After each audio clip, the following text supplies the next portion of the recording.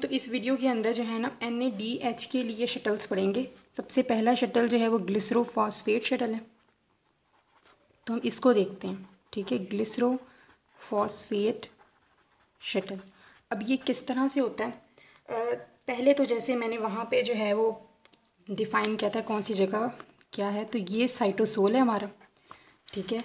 Cytosol के बाद ये आउटर मेम्ब्रेन है, ये जो इतनी सी जगह, ये आउटर मेम्ब्रेन उसके बाद ये नीचे intra membranous space intra membranous space के बाद ये जो है इनर माइटोकॉन्ड्रियल मेम्ब्रेन है मेरी, ठीक है?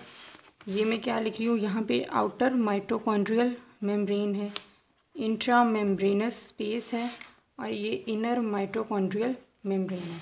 और यहाँ पे जो है ना हमारा मैट्रिक्स है। ये मैंने माइटोकॉन्ड्रिया का सेक्शन काट के आपको दिखा रही हूँ कि किस तरह से है। पहले अब हमारे पास मैंने क्या कहा कि इसका काम क्या होता है? साइटोसोल से एनएडीएच को हमने ट्रांसफ़र करना है मैट्रिक्स के अंदर। तो कैसे करेंगे हम? सबसे पहले NADH जो होता है ना वो जो है, यहाँ पे हमारे माइटोकॉन्ड्रिया के, यहाँ साइटोसोल के की बात हो रही थी तो साइटोसोल के अंदर हमारे पास डायहेडॉक्सी एसिटोन फॉस्फेट पड़ा होता है, ठीक है? डायरोक्सीस्टोन फॉस्फेट कहाँ से आया? जब ग्लाइकोलाइसिस चल रही होती है तो आपको पता है कि ग्लाइकोलाइसिस का एक इंटरमीडिएट डाईहाइड्रोक्सी एसिटोन फॉस्फेट है। तो यहाँ पे एक इंजाइम एक्ट करता है, जो कि यहाँ से हाइड्रोजन आइंस को लेकर वो ट्रांसफ़र कर देता है डायरोक्सीस्टोन फॉस्फेट पर जिससे डायरोक्सीस्टोन फॉस्फेट कन्वर्ट हो जाता है ग्लिसरोल थ्री फॉस्फेट के अंदर, ठीक है? ये जो है एन के अंदर कन्वर्ट हो जाता है एन पॉजिटिव के अंदर। और यहाँ पे हमारे पास क्या बन गया? Glycerol three phosphate. और यहाँ पे इंजाइम हमारा कौन सा यूज़ हुआ है? Glycerol three phosphate dehydrogenase ठीक है? ये ग्लिसरोल थ्री फॉस्फेट है। ग्लिसरल डिहाइड थ्री फॉस्फेट नहीं है। ये बात आपने याद रखनी है। ग्लिसरोल थ्री फॉस्फेट है। ये आपने तब पढ़ा होगा जब आपने ग्लूकोनियोजेनेसिस पढ़ी होगी। वहाँ पे हम कहते हैं कि फ़ैट जब ब्रेक डाउन होता है तो वो एक ग्लिसरोल देता है, जो कि फिर आगे जो है ना, इनकी यूँ कन्वर्जन होती है। वहाँ पर हमने उल्टा पढ़ा था कि ग्लिसरोल थ्री फॉस्फेट कन्वर्ट हुआ डाइहाइड्रोक्सीस्टोन फॉस्फेट में with the help of glycerol glycerol three phosphate dehydrogenase ठीक है? ये इंजाइम यहाँ पे यूज़ हुआ। अब क्या होगा? ये जो ग्लिसरोल थ्री फॉस्फेट हमारा सिंथेसाइज हुआ है, ये आउटर माइट्रोकॉन्ड्रियल मेम्ब्रेन को क्रॉस करेगा और आ जाएगा हमारे पास इंट्रा मेम्ब्रेनस स्पेस में। यहाँ पे चलो वो बाद में बताती हूँ। यहाँ पे अब ये क्या? ग्लिसरोल थ्री फॉस्फेट हमारे पास यहाँ पे आ गया। यहाँ पे इंजाइम यूज़ होगा वही वाला, जो कि ग्लिसरोल थ्री फॉस्फेट को कन्वर्ट करा देगा डाई हाइड्रोक्सी एसीटोन फॉस्फेट के अंदर। ठीक है डायरोक्सीस्टोन फॉस्फेट दोबारा यहाँ पे आ जाएगा। ये पूरा एक साइकिल बन गया। और यहाँ पे इस रिएक्शन की वजह से, क्योंकि यहाँ पे भी डी हाई डी हाइड्रोजिनेशन हो रही है, यहाँ पे जो इंजाइम होगा वो भी यही वाला होगा ग्लिसरोल थ्री फॉस्फेट डीहाइड्रोजिनेट यहाँ पे जो हाइड्रोजन रिलीज़ होगा, उसको एफ़ ए डी लेगा। ठीक है? एफ़ ए डी लेगा और वो कन्वर्ट हो जाएगा F A D H two के अंदर। ठीक है F A D H two के अंदर।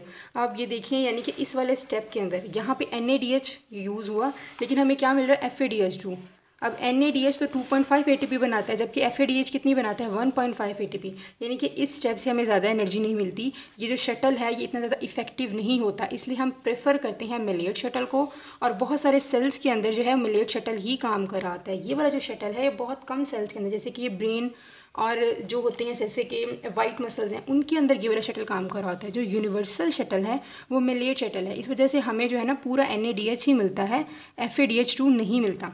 लेकिन ये शटल है, इसलिए हमने इसे याद करना है। अब यहाँ पे हमें जो एफ़ टू मिल गया है, जो कि यहाँ पे जाएगा और अपना जो इसने काम परफॉर्म करना होगा जहाँ पे हमें एफ़ टू की ज़रूरत होगी, वो उसमें यूज़ होगा और दोबारा जो है FAD हमें मिल जाएगा और ये इस तरह से साइकिल चलता रहेगा। अब यहाँ पे इंजाइम की डिफ्रेंशिएशन करनी है, ये कहाँ पे था? साइटोसोल में था। तो इसको हम ग्लिसरोल थ्री फॉस्फेट डी कौन सा? साइटोसोलिक ठीक है? ये साइटोसोलिक है, लिख देना है साथ में। साइटोसोलिक और ये कौन सा है? ये माइटोकॉन्ड्रियल है। ठीक है, यहाँ पे क्या लिखना है? Mitochondrial glycerol three phosphate dehydrogenase तो हमारा शटल ऐसे कंप्लीट होता है, कैसे मैं दोबारा से बता देती हूँ। सबसे पहले एन जो है, अपने हाइड्रोजन यानी कि रिडक्शन यहाँ पे करेगा। डायरोक्सी स्टोन फॉस्फेट की ग्लिसरोल थ्री फॉस्फेट में इंजाइम होगा glycerol three phosphate dehydrogenase cytosolic फिर ये जो है इंट्रामेम्ब्रेनस स्पेस के अंदर आएगा। वहाँ पे दोबारा से glycerol three phosphate dehydrogenase जो कि माइट्रोकॉन्ड्रियल है इस बार, वो इसे डायरोक्सी स्ट्रेन फॉस्फेट में कन्वर्ट करेगा। लेकिन ये बात कभी नहीं भूलनी कि वो एफ़ ए डी को F A D H two में कन्वर्ट कर रहा है ग्लिसरोल थ्री फॉस्फेट शटल में। हमारा कंप्लीट हो गया और फिर अब हम शुरू करते हैं मेलेट शटल जी, यहाँ पर हम कर रहे हैं मेलेट शटल ठीक है, अब मेलेट शटल के अंदर मैं वो वैसी क्लासिफिकेशन करती हूँ। ये जो है साइटोसोल साइटोसोल के बाद यहाँ पे जो है आउटर माइट्रोकॉन्ड्रियल मेम्ब्रेन इसके बाद intra membranous space and then इधर क्या आ जाएगा? इनर माइट्रोकॉन्ड्रियल मेम्ब्रेन और उसके बाद ये जो है हमारे पास क्या आ गया? मैट्रिक्स ठीक है? लिख भी देती हूँ. Outer mitochondrial membrane intra membranous space and inner mitochondrial membrane ये मैट्रिक्स आ गया। अब यहाँ पे क्या होगा, वही हमने एनएडीएच को ट्रांसपोर्ट करना है। तो यहाँ पे एन ए डी एच जो है, वो कन्वर्ट होगा एन ए डी पॉजिटिव के अंदर। और किसकी कन्वर्जन कराएगा? ये ऑक्जेलो एसीटेट की कन्वर्जन करा देगा मेलेट के अंदर। ठीक है? ये मेलेट में कन्वर्जन क्यों कराए? क्योंकि ये जो मेम्ब्रेन्स है ना, ये इम्परमिएबल होती हैं ऑक्जेलो एसीटेट से। इस वजह से हमने इसे किसमें कन्वर्जन करा दी? मेलेट के अंदर। यहाँ पे इंजाइम जो यूज़ होगा, उसे हम बोलते हैं मेलेट डी हाइड्रोजिनेज ठीक है? मेलेट डी हाइड्रोजिनेज इंजाइम जो है वो यहाँ पे यूज़ होगा। अब ये जो मेलेट हमारे पास बना है, ये मेलेट जो है आउटर माइटोकॉन्ड्रियल मेम्ब्रेन को क्रॉस करेगा। देन ये इनर माइटोकॉन्ड्रियल मेम्ब्रेन को क्रॉस करेगा। और यहाँ पे ये आ जाएगा हमारे पास इंट्रा मेम्ब्रेनस स्पेस के अंदर। या फिर ये आगे, जो है ना इंटर मेम्ब्रेनस स्पेस में भी इनर को भी ये क्रॉस करेगा। यहाँ पे ले आते हैं हम, ठीक है? इनर माइटोकॉन्ड्रियल मेम्ब्रेन को इसने क्रॉस किया और हमारे पास यहाँ मैट्रिक्स के अंदर क्या आ गया?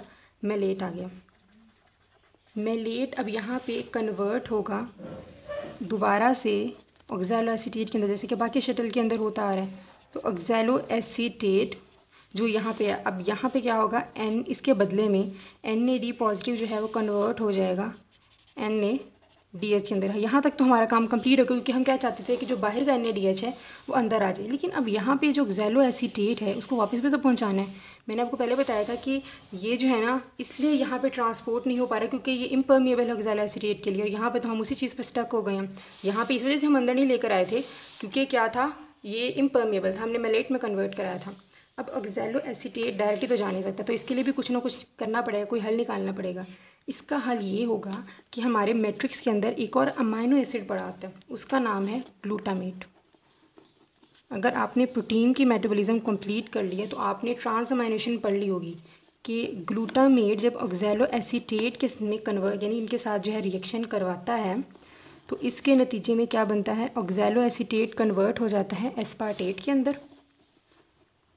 एस्पार्टेट के अंदर और ग्लूटामेट कन्वर्ट हो जाता है अल्फ़ा कीटो ग्लूटारेट के अंदर। ठीक है, ये प्रोसेस कौन सा है?